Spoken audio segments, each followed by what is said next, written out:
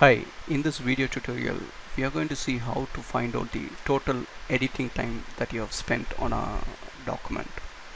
Let's say you're creating an ebook and after completion of the ebook you want to find out the total time you've uh, spent on creating that ebook.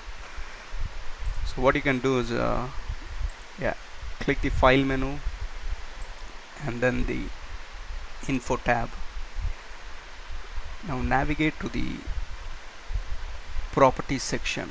And this should have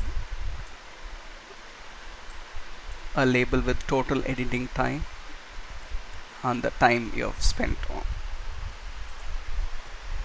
Now another alternate way to check this out is so navigate to the location where you have saved the document.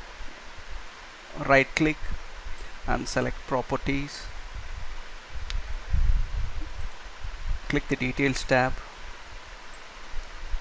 And uh, so if you see under the origin section you should have a label with total editing time. Thank you